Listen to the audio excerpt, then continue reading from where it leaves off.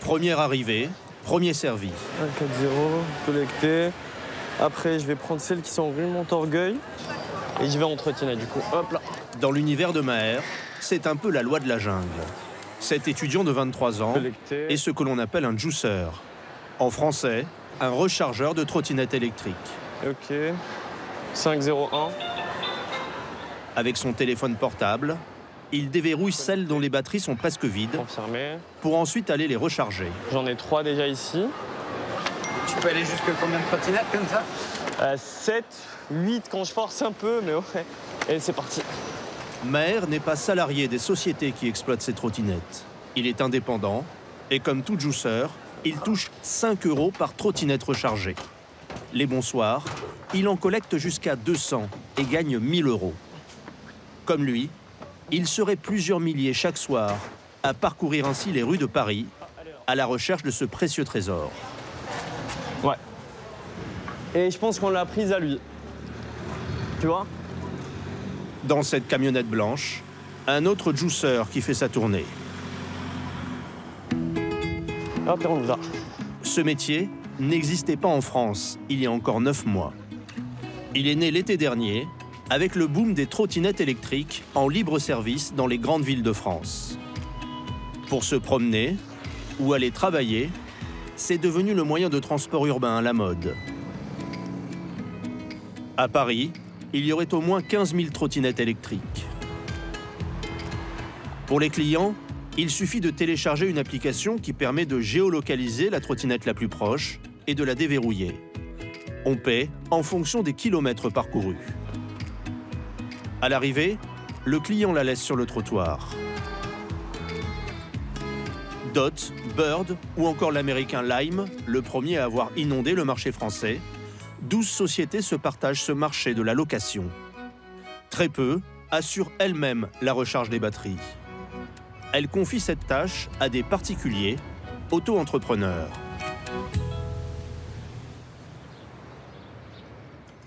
Au départ, pour Maher, étudiant en licence de mathématiques appliquées, c'était un simple job d'appoint. Étudiant le jour, juicer le soir. Au fil des mois, difficile de tout mener de front. On travaille de nuit. En fait, il faut faire des micro-siestes, il faut sélectionner les cours les plus importants. J'ai des potes là-bas, du coup, qui m'envoient les cours que je rate. Clairement, je les rattrape dès que je peux. Pour lui, l'aventure a commencé en novembre dernier. Avec son ami Adèle, Maher achète aux enchères une ancienne fourgonnette de la Poste, 2600 euros. Tous deux collectent leur première trottinette. On a une petite vidéo avec Adèle. La première d'une longue série. Allez. Très vite, l'étudiant en maths se révèle être un entrepreneur hors pair. En seulement 4 mois, Maher a créé une entreprise, acheté 4 fourgons et emploie désormais 5 personnes, 3 en CDI à temps partiel et 2 auto-entrepreneurs, qui collectent les trottinettes pour son compte. Tournez à droite sur rue du Chemin Vert. Les bons mois, sa société génère jusqu'à 35 000 euros de bénéfices. Chaque marque fournit au juicer une application qui signale ses trottinettes à recharger. Là, le point bleu, c'est moi. Je clique sur la trottinette, j'ai l'itinéraire et voilà. En moyenne, il faut être là dans les 2-3 minutes. hein. On y est dans 200 mètres. Alors, où est-ce qu'elle est par contre Je sais pas trop. Elle est là. Le problème, c'est qu'elle est au feu. faut vraiment être rapide. La cible est sur le trottoir. Maher tente le coup en prenant des libertés avec le code de la route. Il veut la récupérer avant que le feu ne passe au vert. Hop, le feu vient de passer au vert. Et on y va. Ce soir-là, trois autres juiceurs font la chasse aux trottinettes pour son compte. Hugo, 21 ans, a commencé il y a deux mois. Il est étudiant en BTS profession immobilière. Lui ne va pas jusqu'à recharger les trottinettes. Sa mission En trouver le plus possible et les apporter à Maher. Ce dernier le rétribue 1,70€ par appareil. Hugo est auto-entrepreneur. Maher lui fournit le fourgon. Une fois, c'était il y a deux semaines. Ouais, j'ai pris 100, 110, 110 trottinettes. 110 trottinettes en 4 heures. Et c'était c'était c'était plaisant, ouais. C'était très plaisant. Un gain de 187 euros. Mais ce soir, par contre, À droite, normalement. Hugo va cumuler toutes les galères du métier de juicer. Tu fais, tu fais les voies Un concurrent vient d'arriver. La trottinette lui passe sous le nez. Hugo doit très vite se reconcentrer. Normalement, il y en a une dans le coin, mais je la trouve pas non plus. Des fois, elles peuvent être garées, elles peuvent être euh, entre les voitures, par terre. Putain, ça me fait chier. Et quand il trouve une trottinette, Vas-y. impossible de la scanner pour la déverrouiller. Problème technique. Il y a un bug. Ce soir, Hugo ne ramènera que 25 trottinettes. Il sera payé 42,50 euros, à peine le quart de son objectif. Maher, lui, a eu du flair. Il a misé sur la zone piétonne des Halles. Ok, ça c'est la VKK, du coup on l'a eu la première. Putain, il y en a de ouf. À partir de 22 heures, alors que la plupart des trottinettes ne circulent plus, les juiceurs font le plus gros de leur chiffre d'affaires. Ok, la 5, 6, 8. Chacun d'entre eux peut choisir le quartier où il souhaite travailler. Maher en récolte une trentaine en à peine une demi-heure.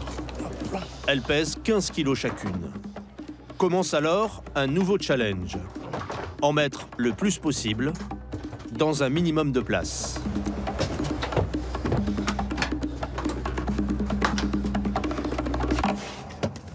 Mais ce n'est pas terminé. Maher veut maintenant regrouper toutes les trottinettes de ses juiceurs dans son camion. Pendant qu'il ira les recharger, les autres continueront ainsi à collecter.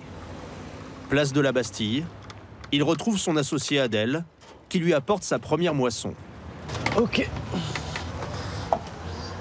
Pour faire rentrer ses 58 trottinettes dans un fourgon déjà bien rempli, J'ai une. On saura jamais le faire. Maher va jouer à Tetris. On n'a même pas fait rentrer la moitié là. Ouais, je sais, mais bon. Faut qu'on gagne de la place, frère.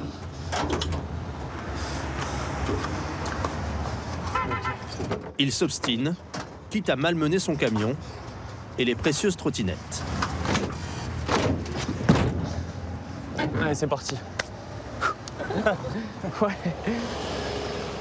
Direction Bagnolet, c'est là qu'il loue depuis trois mois un grand entrepôt. 100 mètres carrés pour 850 euros par mois. Alors, on peut mettre 500 trottinettes en charge sim- simultanément. Mais après, on peut plus passer. Ouais. Mais bon, l'objectif ici, c'est pas de passer, c'est de charger. Donc au final, Pour recharger les batteries, il les branche une à une à ces petits boîtiers noirs. Chaque marque de trottinette ne lui fournit que 4 chargeurs, c'est la règle. Les centaines d'autres, il a dû les acheter lui-même, 20 euros pièce. Une trottinette se recharge en moyenne en 5 heures. ça consomme à peu près comme un téléphone. C'est bien étudié, donc euh, a priori, c'est pas ce qui coûte le plus cher. Sa facture d'électricité s'élève à 125 euros par mois. Là encore, chaque geste est rationalisé. Pour gagner du temps et ne plus avoir à se baisser, le jeune homme a fait construire des panneaux de bois suspendus qui accueilleront les chargeurs. Et le travail s'arrête à partir du moment où tu arrives ici, tu branches le chargeur et voilà. Et c'est fini. Ah, tu tailles, toi, c'est bon? Mais pour Maher et ses trois salariés, ce n'est jamais vraiment fini. Il est 5h30 du matin. Maher a dormi à peine 3 heures. Il est déjà de retour dans son entrepôt. Il doit déposer dans la rue toutes les trottinettes chargées avant 7 heures. Là, aujourd'hui, ça va, il n'y en a pas beaucoup, mais quand il y, en a- quand il y a du volume, c'est c'est speed un peu, ouais.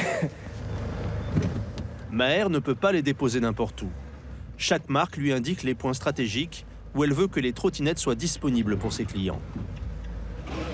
Dans ce quartier touristique de Paris, c'est à chaque coin de rue. Rien qu'autour de nous, tu vois, je pourrais poser une centaine de trottinettes sur ce pâté de maison, tu vois. 7, 6, 4, 4, 4, 4, 4, 5, 5, 4, 4, tu vois. C'est vraiment super chargé ici. Il doit les disposer près des emplacements pour les vélos, comme le réclame désormais la mairie de Paris. Il faut faire attention à ce que ça soit relativement alignées. Et voilà. Normalement, on est bon. Maher doit ensuite scanner à nouveau chacune d'entre elles pour transmettre les coordonnées GPS à la société qui les exploite. Les prendre en photo pour montrer qu'elles ne sont pas mises n'importe comment. Ensuite seulement, l'argent est versé sur son compte.